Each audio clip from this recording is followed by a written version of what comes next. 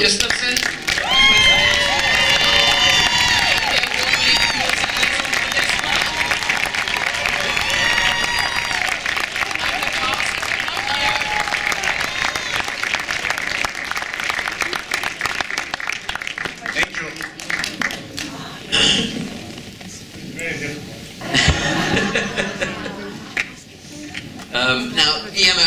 Q and A's, you pass these puppets around the audience. I'm, uh, I'm not going to let you do that here No, today. They're far too like a valuable. mosh pit now.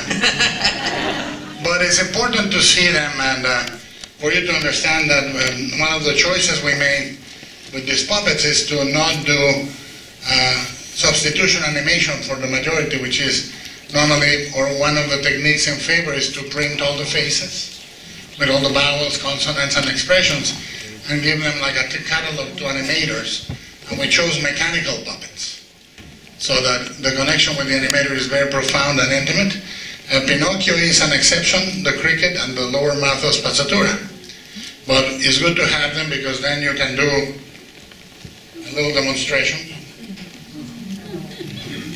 And then you take one photo. You take another one. You do that 24 times, you get one second. The movie is two hours. Wow. And then Guillermo says, reshoot that.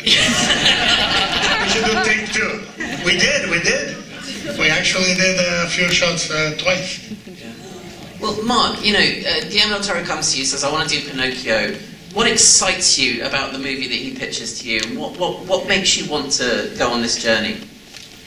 I, I just think it was the unique take that, um, that he and Patrick, uh, his co-writer, had on the story. Um, uh, they they came at it with the notion of what is important about being disobedient as opposed to obedience. I mean, in the standard story, uh, Pinocchio has to be a good boy and learn these lessons, and then he becomes a real boy. And they were saying, well, wait a minute. Uh, how do you learn to be yourself? How do you learn to be real? You learn by questioning. And, uh, and that seemed like a really interesting idea to me and a reason to tell this story again in a completely different way. Yeah.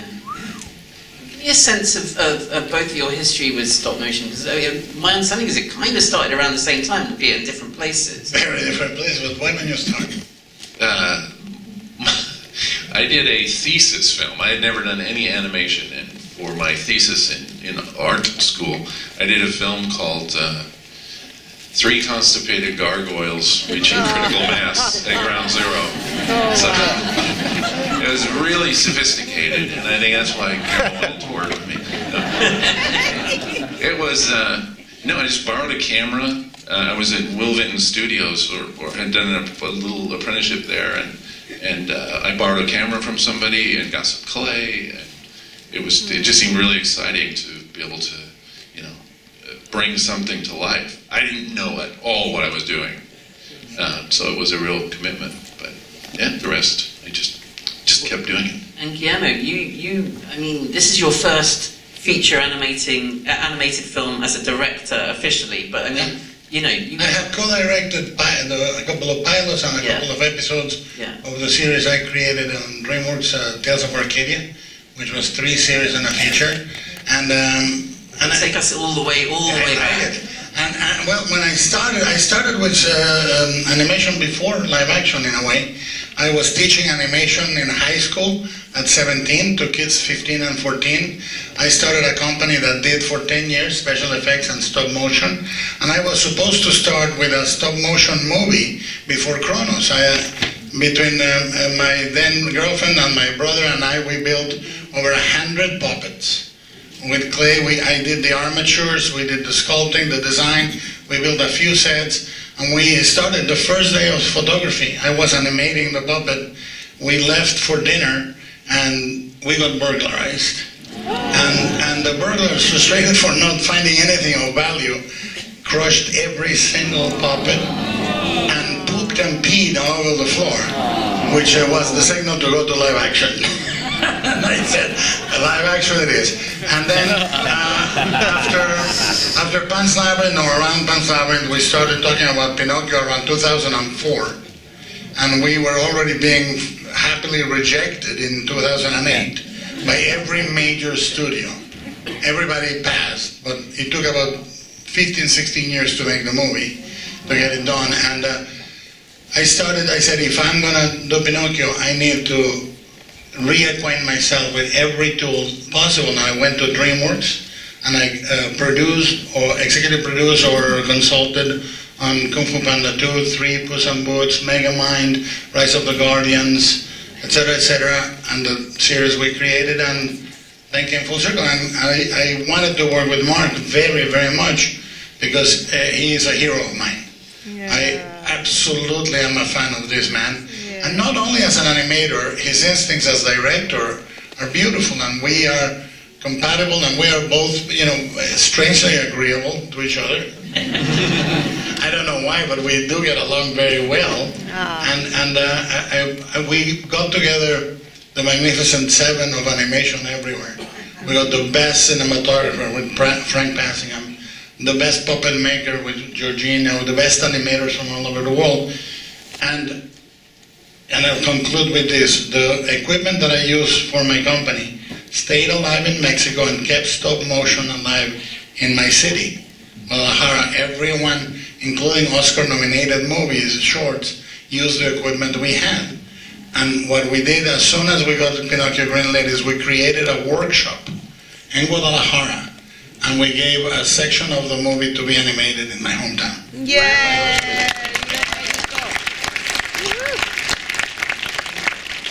Was the plan always for this to be a musical ad- adventure? Was was music and song very very much central for you from the beginning? The, the story was always the same, but according to the screenplay, we, we did two full screenplay teams. The, the variances on that story were there, but we always thought about it as a musical on the beginning. Um, you know, we talked to Nick Cave, and Nick Cave came in, and uh, I was very impressed. I was, oh my God, this rock star. And, I, and then it, it was pretty difficult to, to make an appointment with Nick Cave for further work. And then we went uh, to Beck, and I met with Beck, and I was, oh my God, a rock star. And I, again, it was hard to get back. So Alexander and I talked, and I said, you know who's available? Me. so we did the lyrics of the lullaby. Yeah. And, uh, and Alexander said, "Oh, this is great. We seamless. You should write everything." And about two months later, he said, "You shouldn't write everything." and he called Katz, and let's take it from there. But it was always the idea is we were going to have songs, and uh, we were going to go counter to a musical. And when the big song is coming with the cricket, the one that explains everything, he gets crushed every time. And uh, at the same time, the second half everybody stops singing and fascist music takes over hymns and marches and songs Well, Alexander, uh, you know, aside from your supreme availability, um, you also had this. Uh, I have to go. You also had this fabulous journey with Guillermo with Shape of Water, and uh, just uh, the most incredible score and the most incredible collaboration. What was special about that that experience for you that you uh, and um, um, you know that you wanted to repeat, I suppose, with Pinocchio, and what was exciting about this new uh, experience? You know, the, the fact that there are songs in this, the fact that music is so integral to it. It seemed like very distinct experiences. They're distinct, but in, in, in fact, they're, they're, to me, they're both live-action movies. It's strange. I, I feel the same emotion when I watch uh, Pinocchio, when I watch The Shape of Water. And Guillermo's world is, some people say it's dark. It's not dark. It's just deep. There's just depth. There's uh, soul. And uh, and Pinocchio, the, the film, is, is just full of soul and emotion. Um, so that for a composer, there's so many options to to explore because it's not just a one-dimensional type of character or a one-dimensional story. There's so many layers and so many depths of field that you can visit, um, and that's and this added to to the way Guillermo structures his uh, his dramaturgy, the way his camera moves. It's flawless, and that's another thing that music is. You know, music is horizontal. It goes from A to Z, and uh, you just put your hand on the film and it takes you down the river very easily. You just have to work, but it's it's not it's not um, it's not painful. It's very comfortable.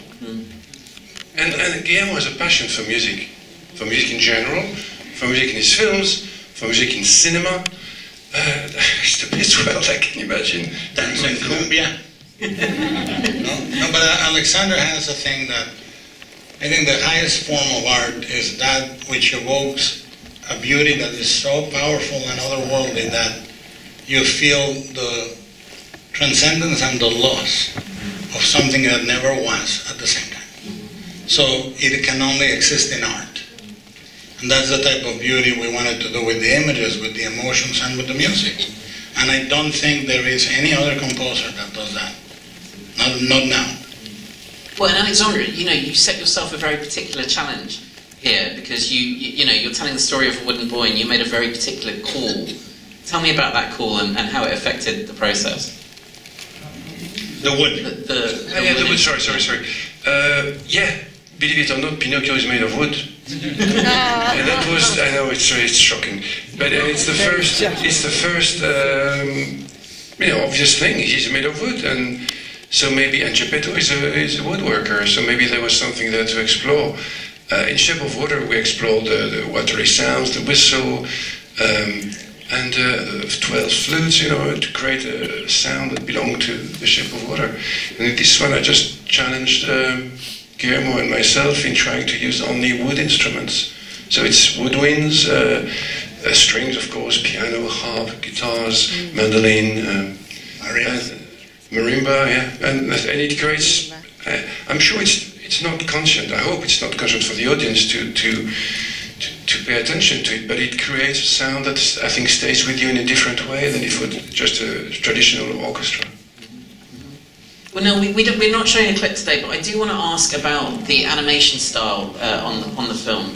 Uh, you know, it feels incredibly unique, it feels incredibly uh, individual. How important was it for you? Give us a little sense of the philosophy behind that, Mark, Guillermo, uh, and, and, and why it was important to do it in the way that you've done it. Well, we really wanted to give agency over the uh, the performances the, back to the animators as much as possible. Uh, we wanted them to uh, take pride in these shots and own the shots. Uh, I was an animator for many years, and I know that feeling. There's, there's nothing quite like it. And God, you should have animated on the film. but we. It's not that easy. yeah, we, we um, so we went out and we got everybody that I really had always wanted to work with and people that I'd worked with in the past, the best of the best animators. And, uh, and you know, the kind of instructions we would give them. We would say, we want, we have to hit this mark, we need, this is what the character is thinking about, and we want to see in the animation, we want to see the character thinking. We don't, we don't want it to move, we want it to be alive, and there's a big difference. And, and then we also said, look, if you, during the course of this, because it's just you, and this is something that's unique to stop motion, I think, it comes down to an animator with the puppet in a very intimate relationship. And so you are performing this thing, and if you discover something along the way that you think can make this better, then go ahead. Uh, and we wanted them to feel free to do that. And of course, you know, you, you're going to fail occasionally, and we said that's okay, you know, because it's worth the investment for us to, to get to another place with these performances. I think we.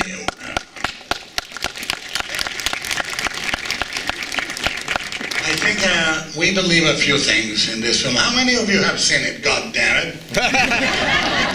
Everybody else gets no popcorn today. we want. We believe several things. We believe that animation is not a goddamn genre for kids. It's a medium that is perfect for art and spirituality. Uh, we believe we believe that we should be bold, we should be crazy, we should try things that have never been done, push the art. Yeah. We also believe that animators are actors, their cast and should be credited right up front next to the cast, and we did that. And, and we believe that between action and cut, they are in command.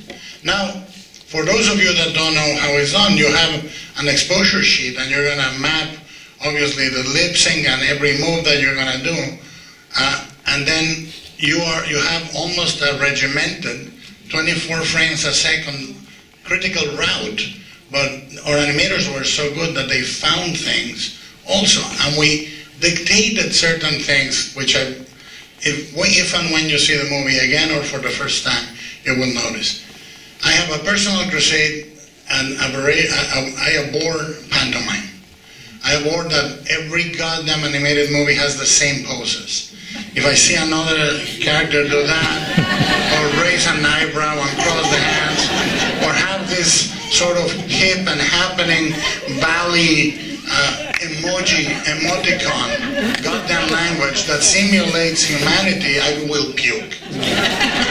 So we said, number one, uh, let's give them micro gestures and, and almost neuro-linguistic programming inputting like move, move the eyes around, look away.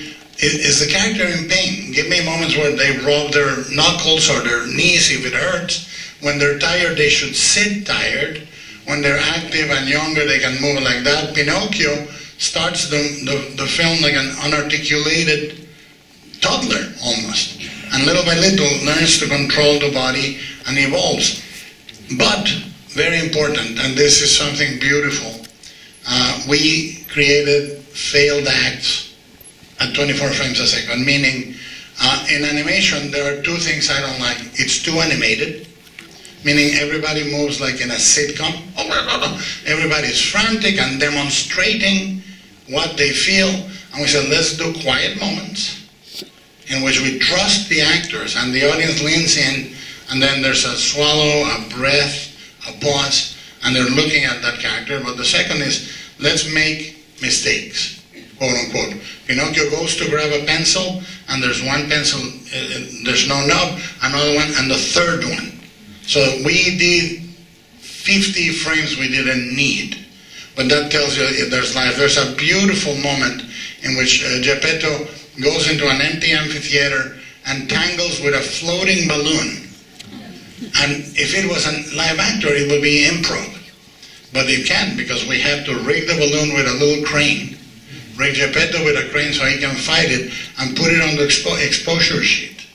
So we're doing an accident at 24 frames a second and shooting uh, quiet moments and giving the actors uh, moments to talk quietly. The way we talk in real life, animation tends to make everything too efficient. And we didn't want that. Uh, if a cop is facing the wrong way, you turn the cop and then you grab it.